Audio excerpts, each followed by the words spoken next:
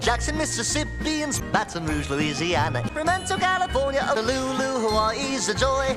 Santa Fe, New Mexico, there's Montgomery, Alabama, Nevada, Carson City, it's Arizona, Arkansas, and Nashville, Tennessee. Elvis used to hang out there a lot, you know. Washington, D.C., Hunters down in Georgia and South Carolina with Tallahassee, Florida, Charleston, West Virginia, and Juneau's in Alaska, and Oklahoma and its city, Kentucky, Darling, next to Lyndon, Chesapeake Bay. They have wonderful clam chowder. Springfield, Illinois.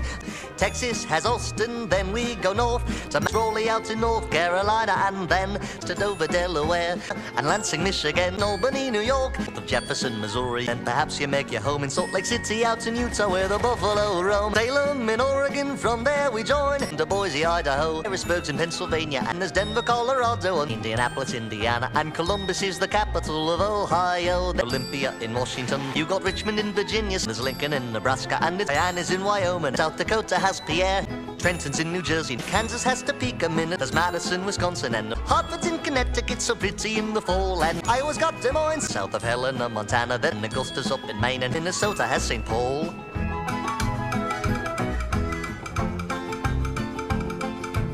to Montpelier, which is up in Vermont. There's Bismarck, North Dakota, Concord, New Hampshire, just a quick jaunt. Massachusetts, Boston, and that's all the capitals there are.